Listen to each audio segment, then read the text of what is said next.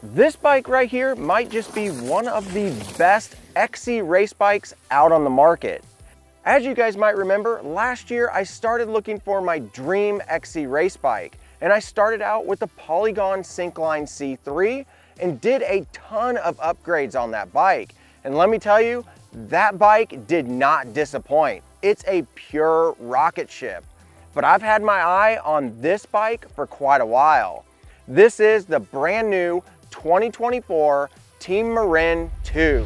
Now you might ask yourself, what makes a good XC bike? And well, it's things like a shorter reach, a shorter stack height, a shorter wheelbase, and shorter chainstays. But all of these things combined together can really make a challenge for manufacturers because you don't want that bike to be too twitchy and not responsive enough. And it's quite possible that Marin nailed it with the brand new Team Marin series that they put out this year. Let's go ahead and let's check out all of the details on this awesome looking bike. Now, like I said, there are a lot of measurements that have to fall perfectly in line to make a quality XC bike.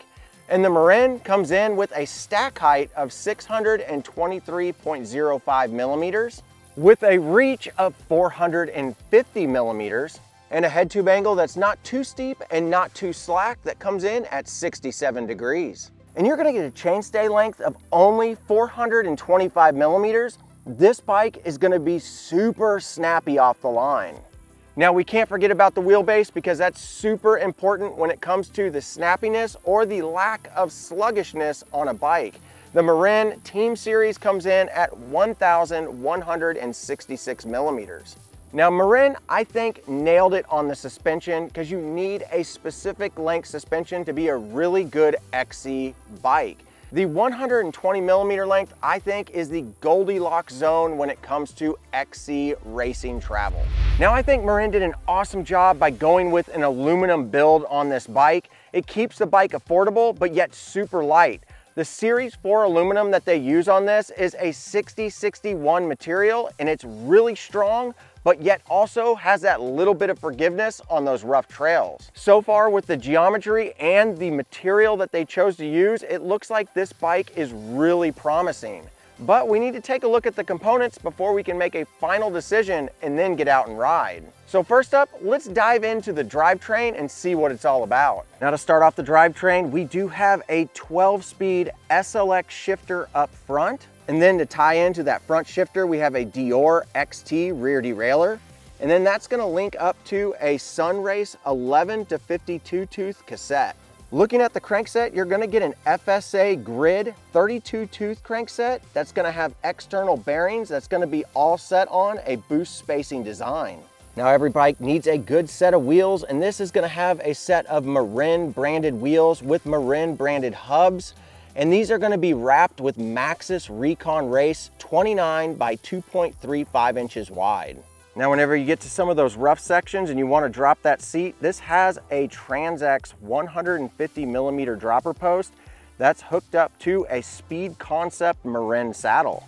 Then looking up at the cockpit here, you are gonna get some awesome Marin branded lock-on grips. These are gonna be linked into a 780 millimeter wide bar along with a 35 millimeter long stem. Now to stop this beast, you are going to get some TRP G-Spec brakes. It's gonna be 180 millimeters up front and 160 millimeters in the back. And the back is gonna have a very unique design with a flat mount caliper.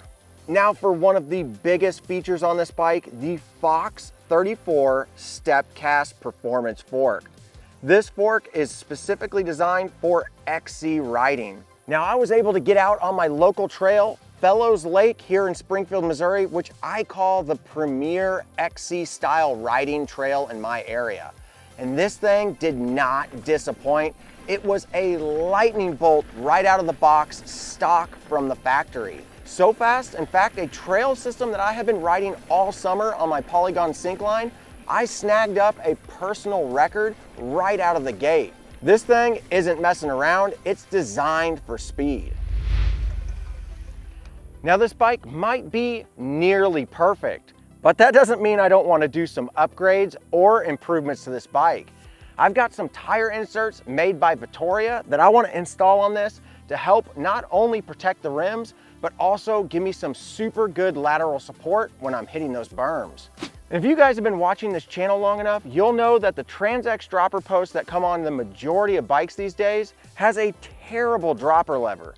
It's not super smooth, and sometimes you have to push it all the way in to get your dropper post to respond. So I'm gonna be changing out this TranzX dropper post lever for a wolf tooth lever because those have sealed bearings on the inside, making the operation of using your dropper post super smooth. All right, let's go ahead and get back to the garage and get these updates done so we can get out on the trail. But you guys are gonna wanna stick around till the end of the video because I have a major upgrade that I'm gonna be doing to this in the near future, and I'm gonna let you guys know exactly what that is closer to the end. Let's go.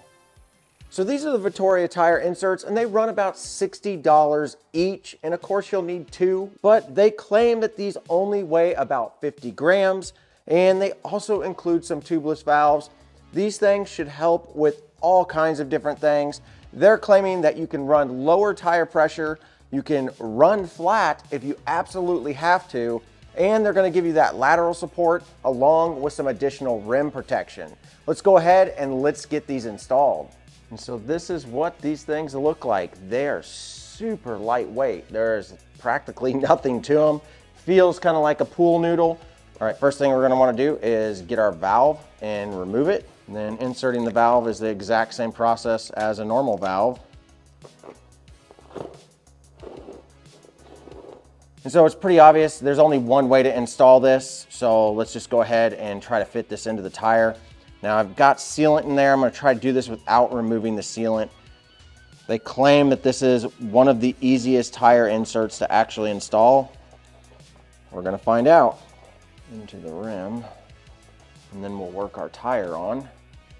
So far it's super easy.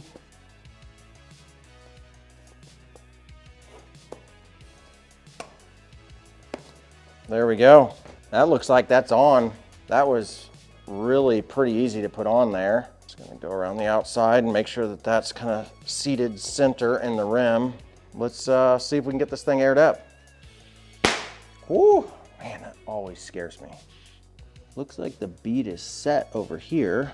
So those tire inserts were surprisingly easy to install and I can't wait to get out and actually try them. But first, I wanna install this wolf tooth dropper post lever. This is similar to the one that I installed on the Polygon Syncline, and I absolutely love the feel for it. For a long time, I kind of put off buying wolf tooth and only went with PNW, but honestly, this short throw lever that wolf tooth makes is really, really nice, and I love the looks of it. So I picked one up for my Team Marin 2, and we're gonna go ahead and get rid of that TranzX dropper post lever that I absolutely can't stand. All right, so now that I've got the Vittoria tire inserts put in and I've got the wolf tooth lever put on, let's go ahead and hit up my local trails and see if these upgrades really made that big of a difference.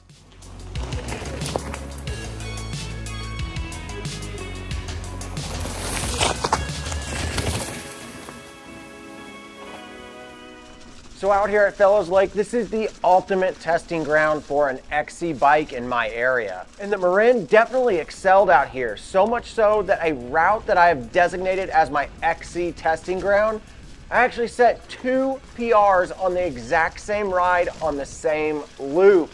First coming in at seven minutes and 13 seconds, and then seven minutes and eight seconds.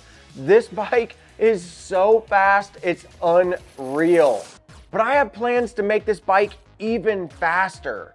That's right, earlier in the video, I told you guys that I have a surprise for you, and I have made the biggest purchase that I have ever made when doing an upgrade to a bike. This upgrade may be a little ridiculous for this price point of a bike, but I wanted to try these so bad for so long, and I got a killer deal. Some proven carbon wheels by Hunt.